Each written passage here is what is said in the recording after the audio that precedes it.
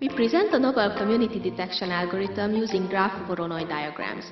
Many complex systems can be represented as networks. Social networks, transportation networks, networks defined on biological systems are just a few examples. A common challenge in studying complex networks is the identification of community structure. In general, communities are defined as groups of nodes which are more densely connected to each other than with the rest of the network. However, this is a qualitative description and no common mathematical definition has been agreed upon. There are many different approaches. Clustering problems similar to graph community detection also occur in data mining, pattern recognition, machine learning and statistical data analysis. These problems, however, are defined on continuous metric spaces, simplifying their formulation.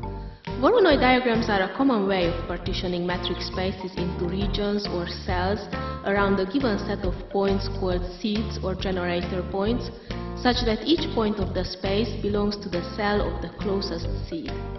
A similar partitioning can be applied on graphs if we set a few generator nodes, associate positive values to edges and define the distance between any pair of nodes as the shortest path connecting the two nodes. We have shown that graph Voronoi diagrams can be used to detect communities. We need rules for setting the length of edges and choosing the generator nodes. Then communities can be identified as the graph Voronoi cells. To explain the basic concept of our algorithm, we illustrate it on a clustering problem defined in Euclidean space.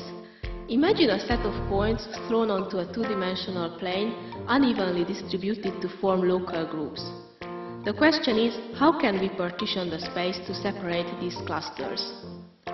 First, we define a square lattice across the plane and calculate the local density in each small square as the number of black dots included in it. Green stands for low, red for high density values.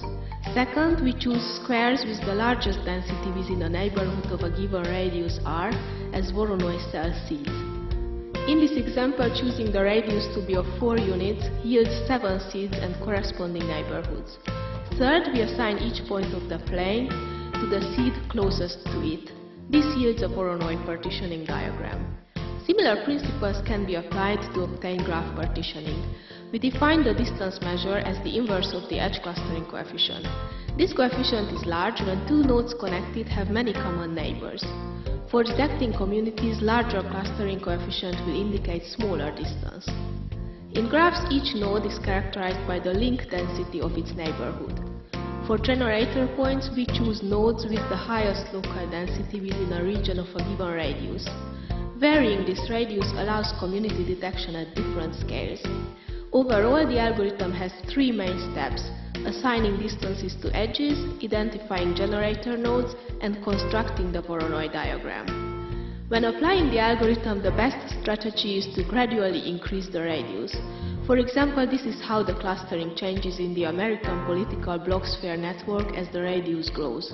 We tested the algorithm on many other real and benchmark networks, also discussing its computational efficiency. In summary, our method shows that a topology-based metric on graphs can open new ways to approach graph community detection, narrowing the gap between the relatively young field of community detection and the well-explored realm of cluster analysis in data mining.